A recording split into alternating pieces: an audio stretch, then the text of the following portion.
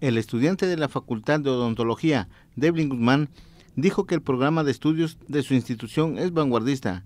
Dijo que lo llevan de forma oportuna cada uno de los catedráticos. Aseguró que el estudiantado, con equipos sofisticados, atienden a la ciudadanía en problemas dentales, con costos muy por debajo de los que cobra un odontólogo particular. Aseguró Devlin Guzmán que ofrecen servicios dentales dentro de la institución. Servicios odontológicos en la clínica como es este limpieza dental, extracciones de, de cualquier este, órgano dentario, muelas, dientes, a todos, todo este, todas las edades, infantiles hasta, hasta abuelitos. Aseguró Devlin Guzmán que aparte del servicio que prestan en sus instalaciones, visitan diversas comunidades.